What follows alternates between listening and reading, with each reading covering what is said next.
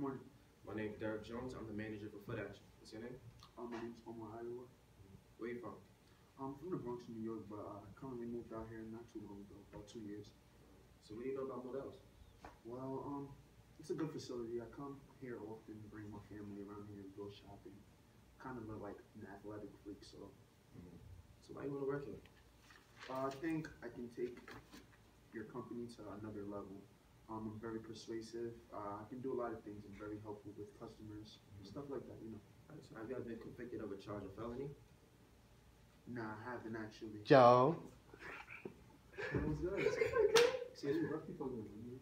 Whoa. Excuse me. Oh. Oh, you can't have the job. You can't have the job. Sir, You, you sir, can't have sorry, the job. sorry. Just give me another time. Give Why? me another. You can't have the job. Sir, come on. Sir, não, não, não, não, não, não, não, time. não, não, não, não, não,